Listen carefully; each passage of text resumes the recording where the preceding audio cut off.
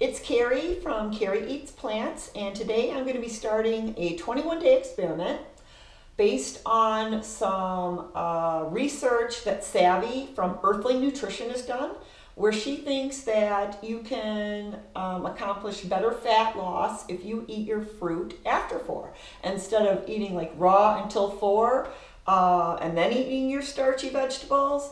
Um, she believes that if you eat your starchy vegetables earlier in the day and have a chance to uh, burn that off while you're, you know, going around your business, that um, you could lose more fat if you save your fruit until after four. So I'm going to uh, be attempting to test that out.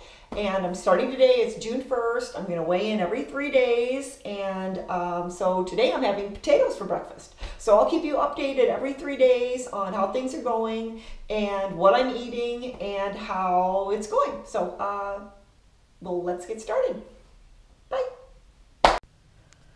All right, for this experiment, I am going to be weighing in every three days and taking a waist hip thigh measurement.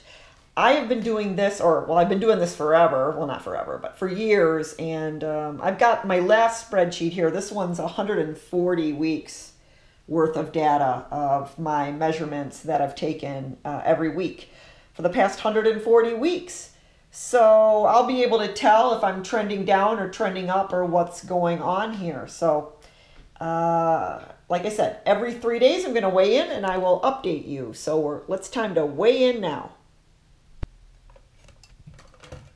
Well, I don't know if you can see that. Oh, there we go. It stayed.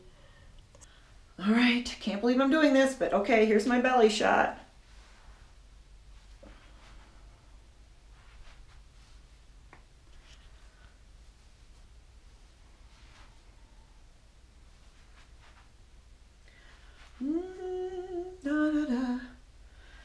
Can see I've got I've got some like I don't know like it's like fat right right here on my belly.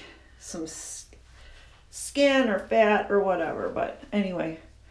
So here's my belly shot. I got my belt I got my measurements in and um okay. Okay so this is what uh, day one was uh, weight 137.8 waist 28, hips 35, and my combined thigh total 41.5. And breakfast this morning is going to be uh, about a pound and a half of regular potatoes. I got one sweet potato and some corn with some fat-free hummus, organic ketchup, and I'm going to put that in some lettuce. So this is uh, breakfast. See you for lunch.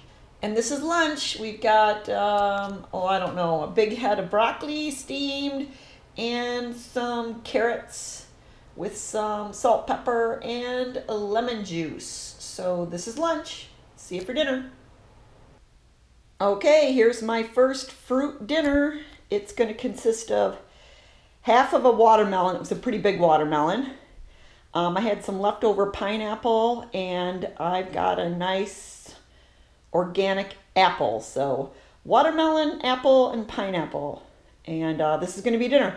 And I do have to say that from breakfast of potatoes, potatoes are the starch that fills me up the most. I can eat a ton of rice and a ton of quinoa and a ton of lentils and beans, but nothing fills me up like potatoes. So basically, I have been full all day long. So um, I'm not even very hungry now, but I'm supposed to eat my fruit, and I'm going to eat this fruit.